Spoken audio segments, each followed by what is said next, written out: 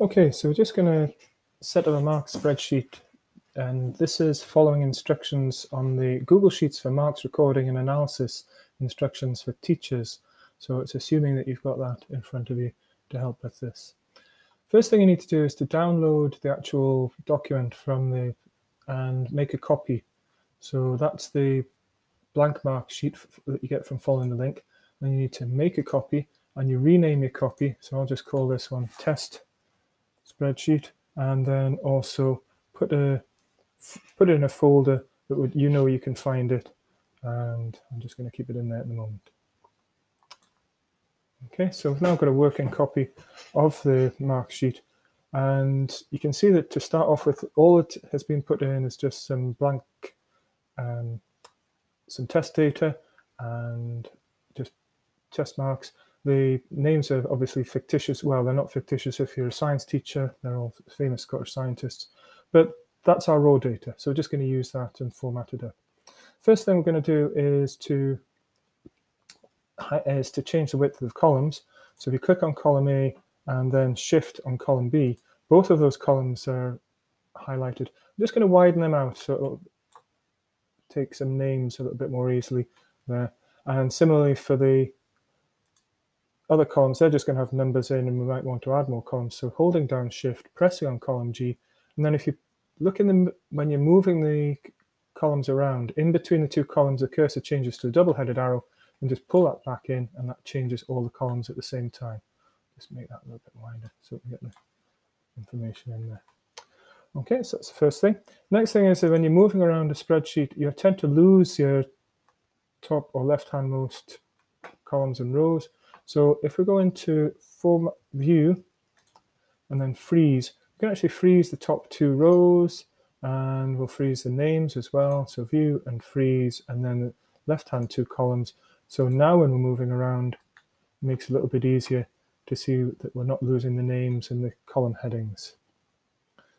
We don't have grid lines in Google Sheets. Um, you can see the grid lines on the screen, but when it's printed, that doesn't have grid lines. So unlike Microsoft Excel, so what we'll do is just highlight, we're going to go right down to row 30 in case we are needed to add new pupils to the class. It's always worth putting a bit of extra in there for all your formulas. So we're going to highlight that area and then the borders, we'll pull that down and select the solid line borders for all the cells. So that means that everything's got a border around it and that will now appear on the printout.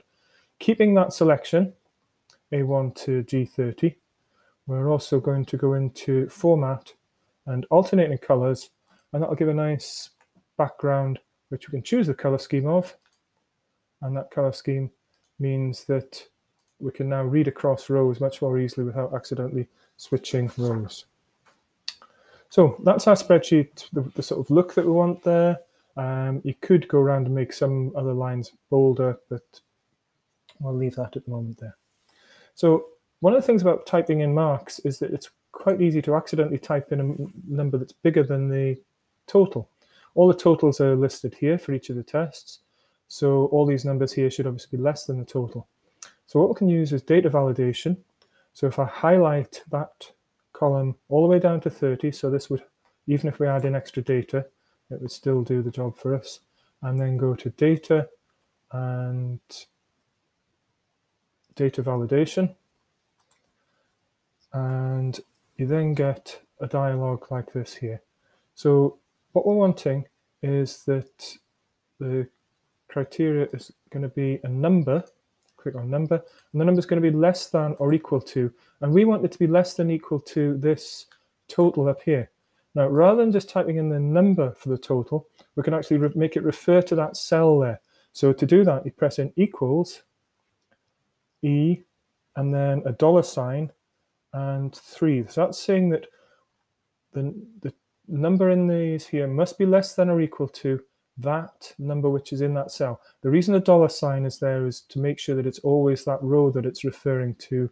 And for that, we're going to say we don't even want a warning. You're just not able to put any input in there. So we'll reject the input. And so the warning message that would come up is that the number must be less than equal to the total. And we'll save that And now if I tried to put in for Anne Glover that she got a mark of 31, what it'll do is give an error there and I've got to go back and try again and put in that mark there. The other thing you might want to do with your marks is to get an average, and that's easy enough to do. And I've put the averages space at the top of the screen because it's that's where you'll want to find it rather the bottom. And so I'm going to, again, just type in a formula. So to type in a formula, hit the equals key and then type in average. It will suggest average, and you can click on that if you want. And then you've got the brackets showing you the range over which you're going to get your averages. So I'm, there's two ways to do this. You can either type in the letters E4 to E30. Just try that. E4 colon E30. Close the brackets and do that. And then it'll give me the average there. The other way is if we try again. So I've got average, and then you can just highlight through the whole range of cells that you want the average for. So I'm going again by highlighting through that, press return, I've got the same average calculation. And the average calculation is obviously um, to a high number of decimal places. What you can do is reduce that number of decimal places using the decrease decimal places shortcut up here, and we'll take that down to maybe one decimal place, which is probably all you'd want for that. You can also do the same thing for these cells here a lot more quickly by just by copying that formula across. If you go back to that cell and click on the corner, you see how that's now turning into sort of cross crosshairs. If I drag that through the next three cells, it'll repeat that formula and the formatting. So I've now got the averages for all these columns as well. So that's making life a lot quicker there. We're going to create a second sheet with percentages, but before we do that, best to name this one. I'm going to name this one by pulling up on the sheet one arrow there and click on rename. And then we can rename that. I'm going to rename it raw marks, space, M-A-R-K-S, return. And then we've got that as a new sheet there. Using the same arrow there, we can then duplicate that sheet. So we've got a second sheet and I'm going to rename that. I'm going to call this percentages. And we've now got two sheets that look obviously identical. But what we want in this one is this to be a live copy of what anything changes that we make in raw marks will be reflected over here. First thing that's possibly worth doing just to save confusion is to change the color of the uh, rows that we had before there. So if we go back to format and alternating colors and just make it a different color scheme, then we know which we're moving between. Next thing is a little bit scary. We're going to highlight all the, the cells in here. Click on that top left, which is blank, but that highlights all the cells in your spreadsheet. We're then going to just delete everything that's in that copy. So we're going to go into edit, and then delete values. Delete values means that it only takes out the data, it leaves the formatting, and then we've got that's completely empty. But this one has still got all originals. Now I want to, anything that's changed in raw marks, I want to be the same over here.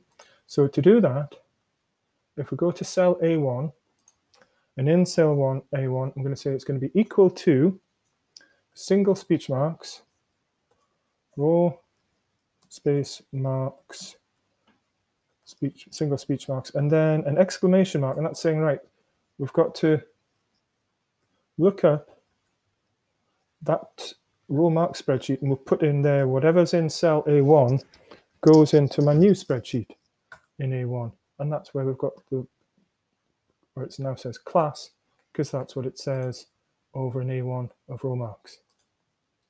Good news is we're not going to have to do that for everything. If we click on the that cell, and again, crosshairs there to drag that formula across. And then we've got the same thing across there, and then drag that all the way down to G30. Then we've set up our copy of our spreadsheet. So we'll come back to this in the next video.